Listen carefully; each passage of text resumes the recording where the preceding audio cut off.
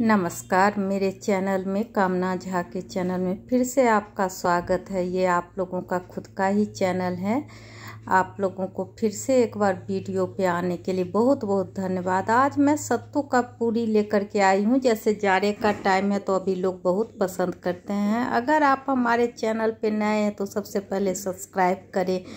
और bell icon को on कर ले ताकि वीडियो जब आए तो सबसे पहले आप तक पहुँचे। तो देखिए, ये सत्तू का पूरी जितना देखने में अच्छा लगता है, उतना ही खाने में भी बहुत टेस्टी होता है और सरल तरीके से ही बनता है। तो चलिए देखते हैं, ये काला काला दिख रहा है, थोड़ा सा मार्केट के आटे जैसा नहीं दिख रहा है तो ये मल्टीग्रेन आटा मैं खुद पिसवाती हूँ, इसमें बहुत कुछ डलवाती हूँ। अगर आप लोग बोलिएगा तो आगे मैं इसका वीडियो शेयर कर दूँगी। इसीलिए ब्लैक ब्लैक थोड़ा लग रहा है, पर काफ़ी हेल्दी आटा होता है।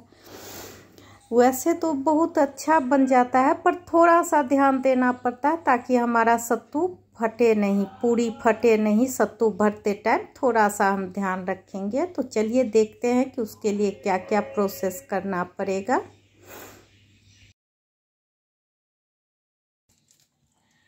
ये आटा है, इसमें आज मैंने आधी चम्मच डाली हूँ और दो चम्मच के आसपास मैं इसमें रिफाइंड डाल दी और थोड़ा सा ही नमक डालूँगी और सख्त करके इसका आटा लगाएँगे।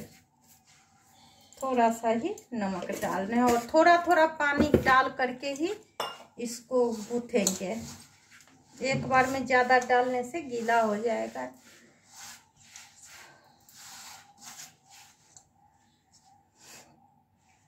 ऐसे ही धीरे धीरे करके डालने के बाद उसको पूरा आटा गूथ लेंगे। ज़्यादा गीला नहीं करना है, सख्त जितना हम बना सके उतना बनाएँगे। क्योंकि इसमें नमक डाली हूँ तो गूथने के बाद जो दस मिनट भी इसको रेस्ट पे डालेंगे तो खुद अपने आप ही सॉफ्ट हो जाएगी। ये आटा लग गया है, ऐसे ही करके पूरा समेट करके लगाने के बाद फिर हम आपको दिखाते हैं। इस तरह से दोनों हाथों से इसको गूथ लेंगे। नॉर्मल में तो सबों को आटा गूथना आता ही होगा। फिर भी मैं वीडियो के लिए दिखा रही हूँ, जिन्हें ना आता हो थोड़ा सा देख लेंगे। ये आटा लग के तैयार हो गया है। अब इसको 10 मिनट के लिए रेस्ट पे रख रही हूँ मैं साइड करके। इधर सत्तू का ये तैयार कर रही हूँ फ्लिप के लिए। ये देखिए, इसमें ये ली हूँ अच्छा सत्तू ली हूँ बड़े वाले से चार चम्मच, ये अचार का राई, कोई सा भी अचार का राई आप ले सकते हैं, अगर हो तो। जैसे मैं ये मिर्ची के अचार का राई ली हूँ आप आम के अचार का या कुछ का भी, दूसरे चीज़ का भी ले सकते हैं। अदरक, लहसुन और हरी मिर्च का पेस्ट डाली हूँ पिसा हुआ घर ही में है, थोड़ा सा मैं ये हींग डाली हूँ थोड़ा नमक डाली हूँ, आजमाइन डाली हूँ। नमक हम कम ही डाले हैं क्योंकि इसलिए कि अचार के राई में भी नमक है और इस सबको अच्छे से मिला दूँगी और इस तरह स्टफिंग हमारा तैयार हो जाएगा।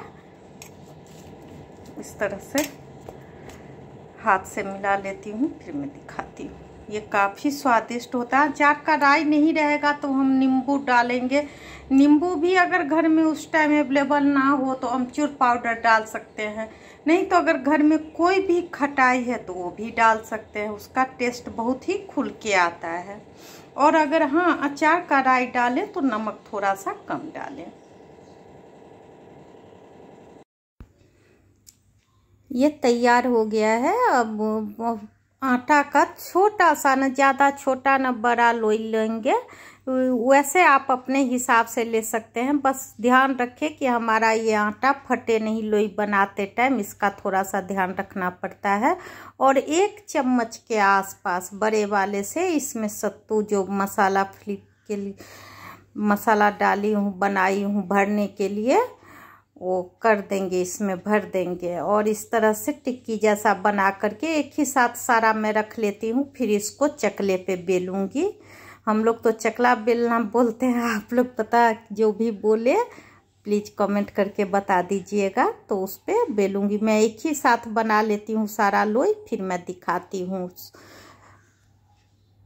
बेलने में थोड़ा हल्के हाथ से ही बेलेंगे ताकि हमारा सत्तू का पूरी जो है वो फटे नहीं, इसका हम ध्यान रखेंगे। तो सही रहेगा, ये मैं दूसरा भी भर के इसी तरह से दिखा रही हूँ। देखिए, ये दस मिनट के लिए आटे को रख दी थी तो बिल्कुल सॉफ्ट हो गया, क्योंकि इस आटे में नमक डला था थोड़ा सा।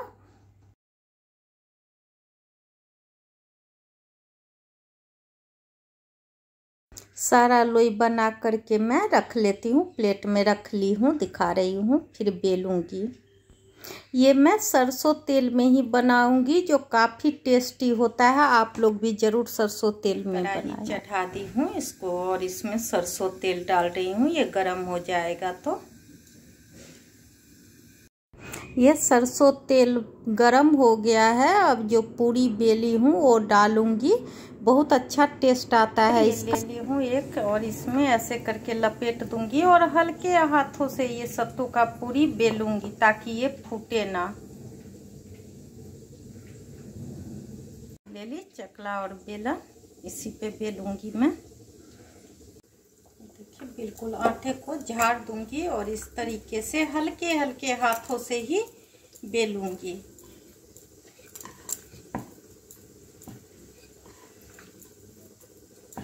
ताकि फूटे नहीं। देखिए, ये कितने अच्छे से मैं बना ली। ये टूटा भी नहीं। इस तरह से नहीं तो फूट जाएगा तो फिर तेल अंदर चला जाता है, फिर स्वाद नहीं होता है। इसी तरह सारा मैं बेल लूँगी। अब ये दूसरे का भी बना रही हूँ।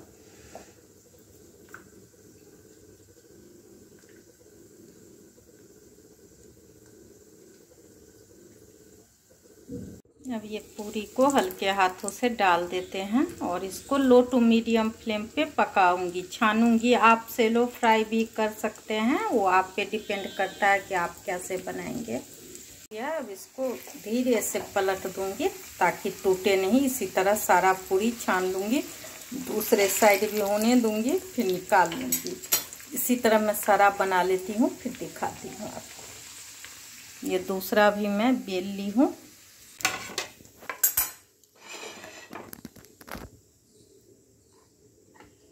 दूसरे को भी ऐसे ही डाल दे रही